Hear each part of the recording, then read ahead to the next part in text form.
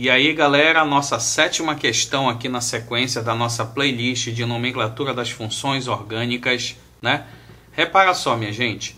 Aqui nessa questão, ele está falando do ácido glutâmico, que é um dos aminoácidos codificados pelo código genético, sendo, portanto, um dos componentes das proteínas dos seres vivos.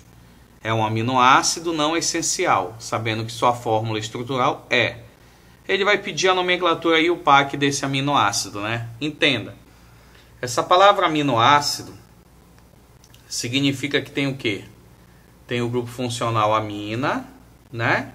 Que é o NH2, tá certo? Que tá bem aqui, ó. E tem o grupo funcional o quê? Ácido, né?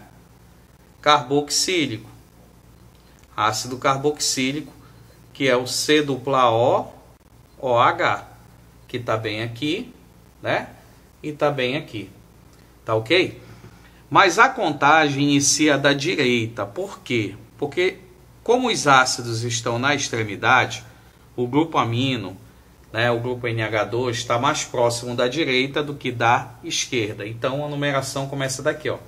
1 2 3 4 5 e aí você repara que o grupo amino, né? Grupo amino das aminas está no carbono que 2, né? Está no carbono 2, bem aqui, ó. Certo? Então é 2 amino. Então 4 amino está errado, 4 amino está errado, certo? É 2 amino. O outro detalhe é que esse ácido tem 5 carbonos na cadeia principal, então é pente, né? Pente. Então, prop aqui está errado, ó. Tá certo? Prop está errado, tá ok? Então, sobrou para a gente a letra A, né? Letra A de aprovados. E por que tomas a terminação dioico? Porque é um ácido dicarboxílico, né? Tem duas carboxilas, tá certo? Letra A de aprovados.